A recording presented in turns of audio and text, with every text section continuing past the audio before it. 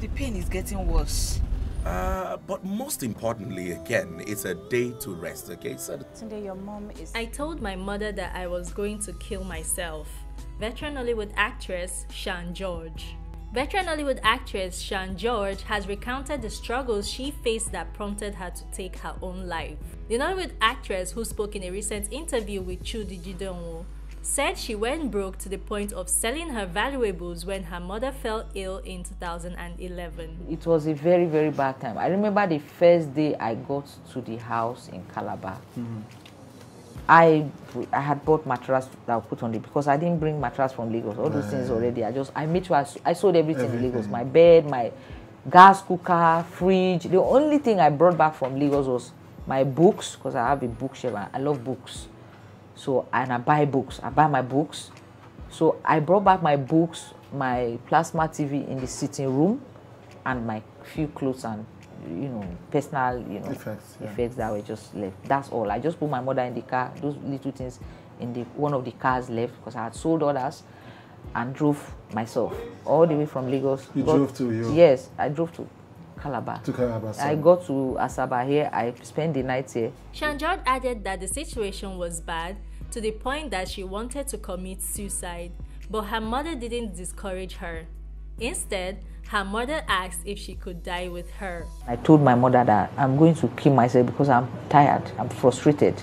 My mother said, Okay, ah, you, you're not going alone. We have to go together. Huh? My mom said, Yeah, let bring it. It was in the night. So I took it to my mother. I was like, very, I was happy that, ah, at least two of us will just go jeje because this life been tired person, I no go lie. The veteran also gave reasons why her marriage didn't work out. Marriage, um, let me say, didn't work out right. is because when I was going to get married, mm. I gave a condition. Okay. When my mother and everybody, like, before they paid my bride price, right. me, I want to go to university, oh, you know, because being brought up in a, a very humble background, back yeah. home in the village, my yeah. mom didn't have money and stuff. She managed to send me to secondary school. Right. And then there was really no money to go to university. Then I, I met my husband, I married my husband. Then when I married my husband, I started having kids. Mm. So, but the condition was, she, my mother was telling me that ah, your husband is, you know, from mm. a very well-to-do family. We sort this out. Yes, when at some point in time he will, you know, send you to university, which I believed. So, but that now didn't happen to be the case. Right.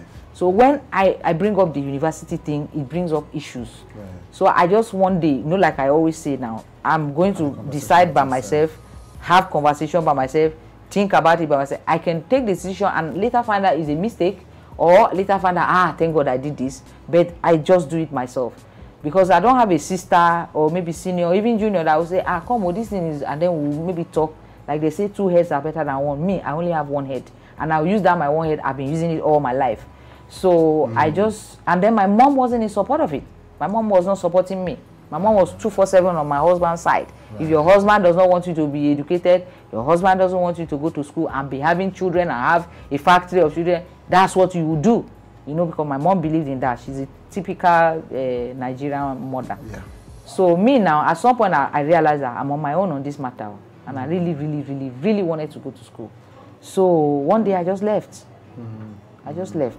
Shan George is a veteran Nollywood actress who is known for her roles in the movies Outcast and Welcome to Nollywood. She lost her mother on July 1, 2021. Ah, the pain is too much, mommy Joe.